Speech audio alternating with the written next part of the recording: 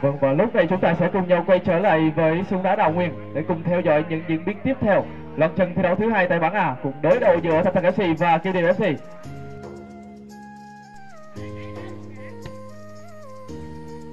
khá nguy hiểm, bóng vừa đi cắt ngang khung thành của Bình Duy. Tình huống đá phạt trực tiếp dành cho FC Thạch Tân. Quyết định đá thẳng. Được chuyển tốt của Cao Huy. Đó là nơi mà họ phải đối đầu với một đội bóng một đội bóng được đánh giá rất cao đó chính là Villa Classic cơ hội khó bầu tại giải bóng đá tranh cúp sân bóng 24 giờ ngày hôm qua. Một màn thể hiện thực sự là chói sáng của Lên Mizuno nhưng đây là giải bóng đá U21 và có lẽ như tuổi tác của Linh Mizuno cũng không cho phép anh có mặt tại giải đấu lần này. Họ biết đối phương cần gì và họ cũng biết là bản thân cần phải làm gì. Dứt điểm đây không bầu. và là chừng có lẽ là của Văn Đạt thủ dàn xếp đá phạt có bài của Thành Tân FC dứt điểm từ xa. Bóng vẫn còn trong cuộc. Rất dẻo, có thể dứt điểm không bầu nỗ lực truy cản là của Quang Tảnh và cho đến thời điểm hiện tại, hàng phòng ngự của thành Tân FC vẫn đang chơi tốt. Với sự chỉ đạo của Quang Tảnh khá nguy hiểm. Như vậy đã có bàn mở tỷ số dành cho Kim Điệp FC tôi vừa nhắc đến việc hàng phòng ngự của thành Tân FC vẫn đang chơi hay thì họ ngay lập tức mắc phải sai lầm.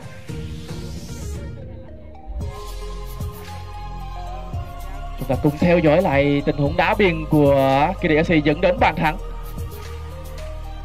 Bóng bật ra và tìm đến chân của cầu thủ số 3 danh Black, một kiêu điểm FC đang chơi khá chặt chẽ, gần như là không có là họ ở hiệp một. một bóng trong cùng đánh đâu? Hai không dành cho kiêu điểm FC chưa tìm được bàn gỡ thì lúc này, thành tân FC lại phải nhận một gáo nước lạnh ngay đầu hiệp hai đến từ đội quân áo vàng xanh chúng ta đang được theo dõi lại cũng từ một tình huống đá biên. Một nhịp chạm bóng tinh tế, bóng tim đến công giành và sau đó, không cần bật quá cầu. Quảng tặng rất dẻo những điểm từ xa không và đấu người xuất sắc của thủ thành anh hầu tuy nhiên đó chỉ là những mong chờ đến từ các khán giả trung lập mà thôi. Còn những diễn biến trên sân lúc này nó vẫn đang nghiêng về cho cái điều FC dứt điểm ơi không Văn Đạt.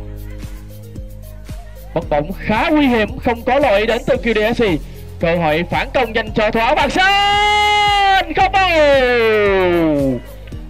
Một tình huống xử lý có phần hơi cá nhân của đại vệ.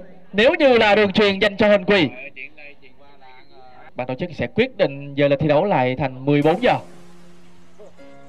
Trận đấu đầu tiên sẽ được bắt đầu vào lúc 14 giờ chiều này Tình huống dứt điểm từ xa, không bao như vậy tiếng còi chung cuộc cũng đã vang lên. Tỷ số cuối cùng là 2-0 nghiêng về cho KDSC